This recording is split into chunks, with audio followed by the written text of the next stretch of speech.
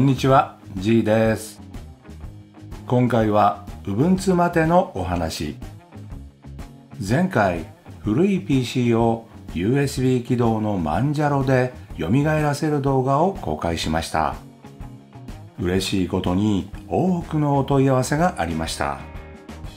そこでその続報です。ネットではライブ USB つまりインストーラー用 USB を作る記事は多いんですが前回動画はライブ USB を使って外部ドライブとして起動可能な USB を作る方法でした。USB メモリーだけでなく SSD でも同様に制作できます。前回の方法で EndeavorOS と MXOS の USB も作ってみました。要はアーチ系とデビアン系の確認です。ただ Ubuntu 系は同じ方法では作成できません。ちょっとだけ事前の準備が必要なんです。今回は Ubuntu マテを外部ドライブとして USB で起動する方法のご紹介です。前回と同じ12年前のノート PC を使用しました。画面の仕様のノート PC です。USB メモリーはインストーラー USB 用と起動用の合計2個用意します。これらの USB は事前に FAT32 でフォーマットしておきます。まず画面のサイトから Ubuntu までの ISO イメージをダウンロードします。ちょうど公式版が出たばかりなので22.04ジャミージェリーフィッシュを採用。ダウンロードしたイメージファイルをエッチャーで USB に焼きます。ウェブではインストーラー USB の作成について様々な方法が紹介されています。でもプラットフォームを問わずエッチャーだけで事足りるんですよね。エッチャーは画面のサイトで入手できます。ここまでは簡単ですが以降はちょっと慎重に。起動する USB の作成には事前の仕掛けが必要です。USB に EFI システムパーティションを作らないといけない。何それ？なんですが要は起動のためのパーティションを事前に用意するんです。SSD の場合も同じ準備が必要です。この作業には Gparted というソフトを使用します。Gparted はほとんどの Linux ディストロで利用できます。RaspiOS、Ubuntu、Manjaro など環境を問いませんので Gparted をインストールしておきます。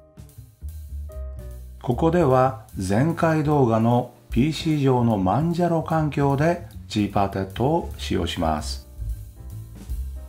起動させる USB を挿して Gparted を起動します。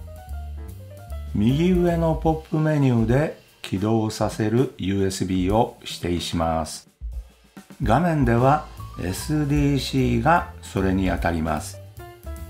選択してデバイスメニューからパーティションテーブルの作成を選びます。アンマウントしろと怒られました。パーティションメニューでアンマウント。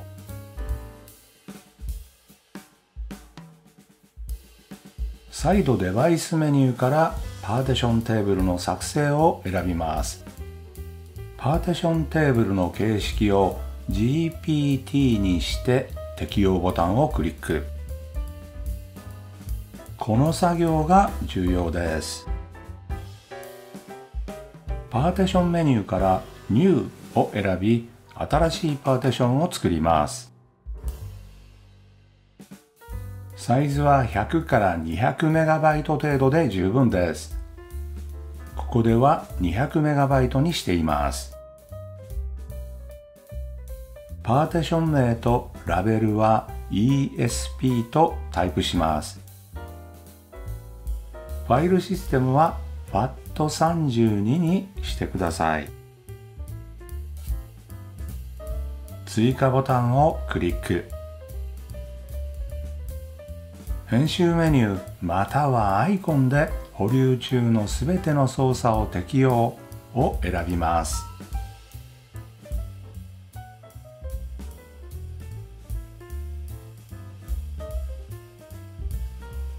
最後に ESP と書かれた新しいパーティションを選択します。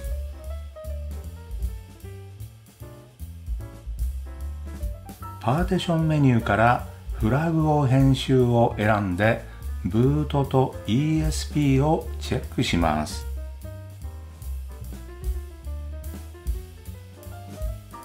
以上で必要なパーティションができました。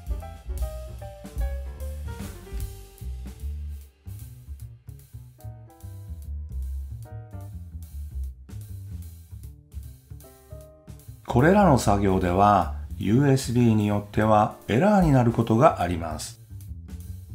その場合 GPT 形式にするところから繰り返し試してみます。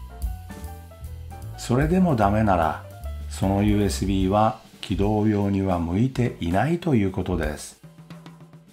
インストーラー USB とパーティションを作成した USB 両方を挿して PC を起動します。画面のように Ubuntu までのインストーラーが起動します。はじめに左のリストから日本語を選びます。Ubuntu までをインストールをクリック。キーボードはジャパニーズにアップデートと他のソフトウェアの画面は変更なしで続けるボタンをクリック。インストールの種類の画面ではそれ以外をクリックします。デバイス一覧が表示されます。実施例のデバイス構成は画面の通りです。Div スラッシュ SDC2 を選択してマイナスボタンをクリックすると空き領域になります。その領域を選んでプラスボタンをクリックするとパーティションの作成ウィンドウが表示されます。基本パーティションを選択。利用方法は EXT4 ジャーナリングファイルシステム。マウスポイントはスラッシュを選んで OK ボタンをクリック。div スラッシュ SDC2 を再度選んでチェックボックスにチェックを入れます。ブートローダーをインストールするデバイスは div スラッシュ SDC を選びます。インストールボタンをクリックすると確認画面が表示され続けるをクリック。以上でインストールが始まります。地域は東京にして名前コンピューター名パスワードを入力して続けるボタンをクリック。所要時間は PC や USB の速度に依存しますが私の環境では50分程度でした。インストールが終わると再起動が促されインストール USB を抜いてエンターキーをタイプ。これで外部 USB から Ubuntu までが起動します。標準で日本語入力できるんですが iBus と Fitex が入ってて分かりにくい。言語切り替えが面倒なので Fitex だけに変更しましょう。ターミナルを立ち上げて画面のように iBus を削除します。続いて画面のように Fitex のインストール。一度ログアウトかリブートすると日本語が使えるようになります。一通り動作させた感想です。Bluetooth は動作するんですがエラーが多発して安定しない。ラズパイ版のジャミージェリーフィッシュでも Bluetooth は不安定なのでバージョンアップに期待。同じ要領で作成した他のディストロと比較すると Ubuntu までの挙動はちょっともっさりですね。でも Windows 10と比べると Ubuntu まではかなり快適に動作します。利用方法や設定については過去動画を参照ください。Ubuntu までのインストールは事前準備がちょっと面倒ですがメリットもあります。追加アプリや設定なしでこのままで Mac でも起動できます。USB を挿してオプションキーを押したまま起動します。左右矢印キーで EFI ブートを選んでください。Mac でも一回り評価したんですが Wi-Fi 接続だけできない。有線接続は大丈夫です。これが一般的なトラブルなのかは判断できません。結論は Mac でも問題なく動作しますが常用はしないかな。試したのは2009年の古い MacBook Pro です。ただこの Mac まだ現役で速度も十分速いのであえて Ubuntu を入れる必要がない。でも外部 USB 一つで Mac でも Windows でも起動できる Ubuntu までは便利じゃないですか？よろしければぜひお試しを。Ubuntu 起動するとグラブレスキューが表示されて Windows が起動できなくなることがあります。マスターブートレコードにオーバーライドされるためで Ubuntu USB から起動して Windows に切り替えは可能です。マスターブートレコードの修復はちょっと面倒ですので煩わしいとお考えなら Ubuntu を避けましょう。今回古い PC 用に4種類の USB を作りました。どのディストロを使うのかは好みによります。